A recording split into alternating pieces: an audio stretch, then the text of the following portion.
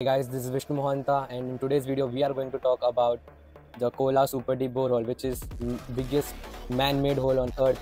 So stay tuned in this video. Please watch till the end, and let's start the video, guys.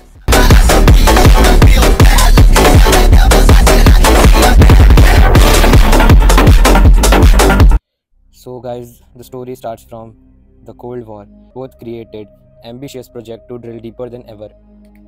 Kola Super Deep Borehole, the deepest man-made hole on Earth and the deepest artificial point on Earth. The 40,230 feet deep, 12.2 kilometer construction is so deep that the locals swear you can hear the screams of the soul, tortured in the hell. It is located in Russia. It took the Soviet almost 20 years to drill this far, but the drill bit was still only about one third of the way through the crust to the earth mantle when the project came grinding to a halt in the chaos of post-Soviet Russia.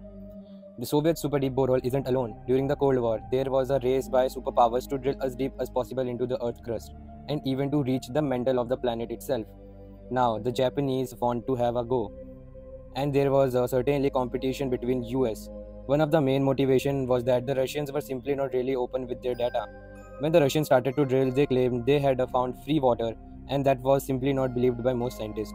There used to be common understanding among Western scientists that the crust was so dense 5 km down that water could not permeate through it. Like the space race, the race to the explore this unknown deep frontier was a demonstration of engineering prowess, cutting edge technology, and the right stuff. The scientists were going where no human had gone before. The US fired up first drill in the race to explore the deep frontier.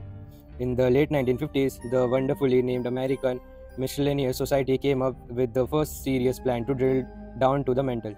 Their crack, uh, their crack at drilling through the earth crust to the mantle was project called Mohole. Rather than drill a very very deep hole in the U.S. expedition, observed by the novelist John Steinbeck decided to take a shortcut through the Pacific Ocean floor of Guadalupe, Mexico. The advantage of drilling through the ocean floor is that the earth crust is thinner there. The disadvantage is that the thinnest areas of crust is usually where the ocean is at its deepest.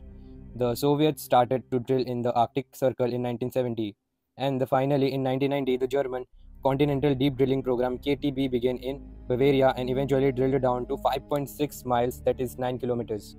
In 1961 project Mohole began to drill into the seabed. Deep sea drilling for oil and gas was still far off. No one had yet invented now essential technologies such as dynamic positioning, which allows a drill ship to stay in its position over a well. Instead, the engineers had to improvise. They installed a system of propellers along the sides of their drill ship to keep it steady over the hole. Two years before Neil Armstrong walked on the moon, US Congress cancelled the funding for Project Mohole when the cost began to spiral out of control. One of the biggest challenges the German engineer faced was the need to drill a hole that is vertical as possible. The solution they came up with is now standard technology in the oil and gas field of the world. What was clear for the experience of the Russian was that you have to drill as vertical as possible because otherwise you increase torque on the drills and kinks in the hole, says Uli Harms. The solution was to develop vertical drilling system. 90s or late 80s when Russia became more open and willing to cooperate with West. Then there were the high temperature, their machinery encountered the deep underground, the coast, and the politics of all which put put paid to the dreams of the scientists to drill deeper and break the record for the deepest hole. Two years before Neil Armstrong walked on the moon, US Congress cancelled the funding for Project Mohole when the cost began to spiral out of control. The few meters of basalt that they were able to bring up worked out at a cost of roughly 40 million dollars, that is 31 million euro in today's money. When Dutch artist Lotte Geeven lowered her microphone, protected by thermal shield down the German borehole, it picked up a deep rumbling sound that scientists couldn't hear before. Video which is going viral nowadays, it is not of Russian borehole, the Kola borehole, it is of German borehole. Some people and some scientists say that the sound which were shown in the video is from the movie known as Baron's Blood.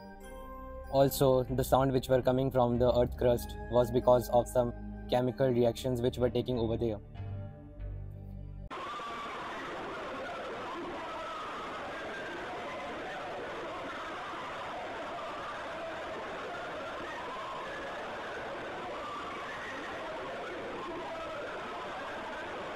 After some times later, it was turned off the Kola Super Deep borehole. Drilling was stopped in 1992 when the temperature reached 180 Celsius, that is 356 Fahrenheit. This was twice what was expected at the depth, and the drilling deeper was no longer possible. Following the collapse of the Soviet Union, there was no money to fund such a project, and three years later, the whole facility was closed down. Now the desolate site is a destination for adventurous tourists. The German borehole has begun spread the fate of the others. The huge drill rig is still there and a tourist attraction today. The site has become, in fact, an observatory of the planet, or even an art gallery.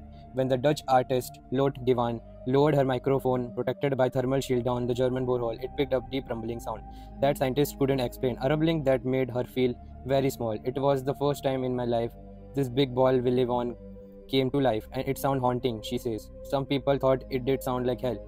The people was there to drill deeper than Soviet, says the Harms, but we hadn't even reached out a loud face of 10 kilometers, 6.25 miles in the time we had. By then, it was also the early 90s in Germany, and there was no good argument to raise additional funding to go any deeper because the German unification was costing such a lot of money. It is hard not to shake off the feeling that the race of Earth Mantle is an updated version of the famous novel Journey to the Center of Earth. While the scientists don't expect to find a hidden cave run full of dinosaurs, they do describe the project as expedition. We thought of it as an expedition because it really took uh, some time in terms of preparation and execution, says Harms. If we talk about KTB or the Kola Super Deep, then the theory is that we were behind the goals of the project were 30 40 years old by the time drilling started. The thing about this mission is that they are like planetary exploration, says Damon Teagle, professor of geochemistry in the School of Ocean and Earth Science National Oceanography Center, South, um, Southampton, at the University of Southampton, who has been heavily involved in the new Japanese led project. They are pure science undertaking, and you never know quite know what you are going to find. At hole 1256, a hole drilling by the Deep Sea Drilling Project DSDP and Ocean Drilling Program ODP, we were the first to get to see intact ocean crust. No one had got to it before. It was really exciting. There was always surprise. Today, M2M Mohole to Mantle is one of the most important projects of the International Ocean Discovery Program IODP. As with the original project Mohole, the scientists are planning to drill through the seabed where the crust is only about 6 km 3.75 miles deep. The goal of the 1 billion 775 million euros under deep drilling project is to recover the in situ mantle rocks for the first time in the human history. These expeditions are extremely expensive and therefore they are difficult to repeat, Uli Harms.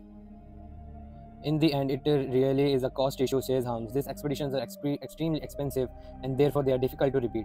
They can cost hundreds of millions of euros and only a small percentage will actually be for the earth sciences. The rest will be for technological development and, of course, operational. We need inspiration politicians to talk up the value of this expedition.